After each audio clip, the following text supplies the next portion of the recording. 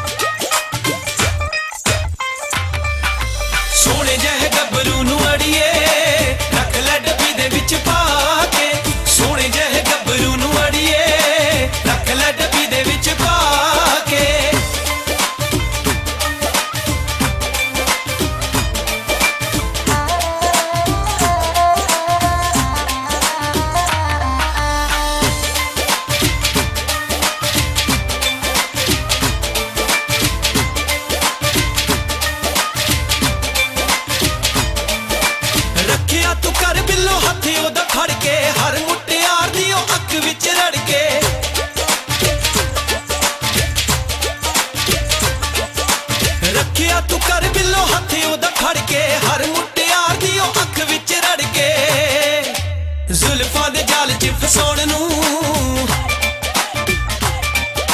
ਜ਼ੁਲਫਾਂ ਦੇ ਜਾਲ 'ਚ ਫਸਾਉਣ ਨੂੰ ਬੈਠੀਆਂ ਨੇ ਜੁਗਤਾ ਬਣਾ ਕੇ, ਸੋਹਣੇ ਜਿਹੇ ਗੱਭਰੂ ਨੂੰ ਅੜੀਏ।